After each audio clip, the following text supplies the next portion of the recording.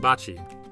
Bocce is an Italian game, and the principle of the sport is to roll the ball closest to the target ball, called the pallina.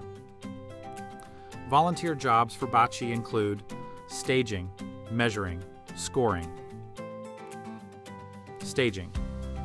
As a staging volunteer, you will help get the athletes into their groups from the heat sheets.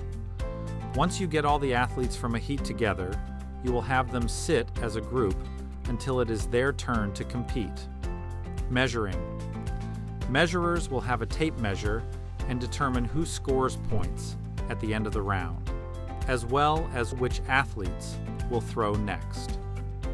The athlete who has more balls of their color closest to the pallina will get one point for each ball closer after all four balls are thrown. Volunteers will measure from the pallina to the closest ball of each color. Scoring. Scorekeepers will record points after each round, as well as assist in telling athlete when it is his or her turn to throw.